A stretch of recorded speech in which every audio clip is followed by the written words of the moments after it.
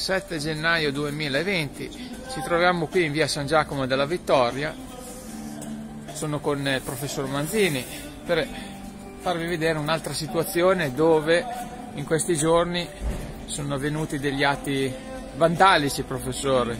Sì, a questo punto, come è stato rilevato mm, davanti al negozio di Casa Signorelli, non c'è altra spiegazione perché... Guardiamo subito qua le vetrate, Vetrate. Quel che resta, abbiamo la porta praticamente demolita, sfondata di questo la negozio, porta demolita. E i resti delle vetrate ancora qua. vedere, Vandalismo. Più vandalismo puro, più, più ingiustificabile di così, cioè il divertimento, il danno, perché non c'è altra spiegazione.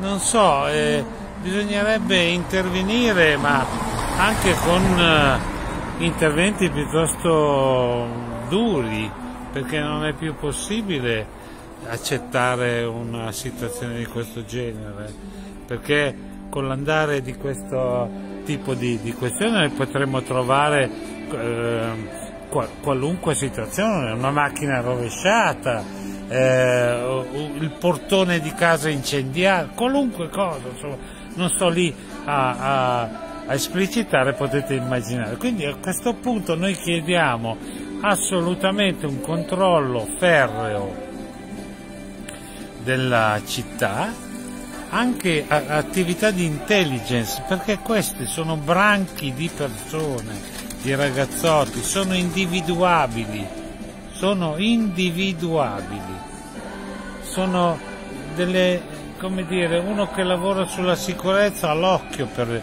per vedere e per prevenire e per intervenire prima e per reprimere.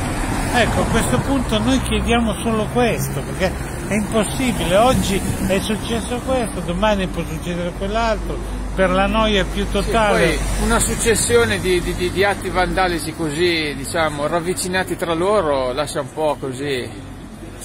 Cioè, non è mai successo in Alessandria, ecco. Ma Non ricordo almeno. Sì, probabilmente c'è un, non lo so, anche dare letture sociologiche o uno sbaglia sempre, sicuramente c'è un... Sotto le feste natalizie abbiamo fatto il video in via Dante, professore. Eh, Ricorda? sì, Anche lì un negozio è stato preso di mira. hanno preso vino, olio. Cioè, non si tratta di, di vie periferiche dove magari questi, questi vandali sono un po' più agevolati nel, nel loro intento. Qui siamo in vie centrali della città. Certo, no ma a parte che questa via l'abbiamo percorsa ormai è un deserto perché pochi esercizi commerciali aperti, per cui... Ma a parte questo, eh, è comunque centrale, è comunque trafficata e comunque fa parte della città e quindi come tale deve essere, deve essere anche tutelata. Lì siamo di fianco alla chiesa, guarda la chiesa eh, San Giovannino. San Giovannino.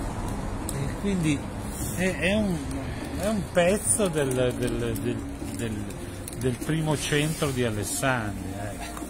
Vabbè, noi abbiamo lanciato Eh. questo segnale, speriamo che venga... Intelligence, se ci sono anche situazioni di eh, precarietà nelle forze dell'ordine, si mandino le persone in borghese. In alcune giro. città d'Italia esiste il controllo del vicinato, sono dei cittadini Però, che si adoperano nel controllare il loro quartiere collegandosi con le forze dell'ordine. lo so, ma Una sorta di ronda, professore.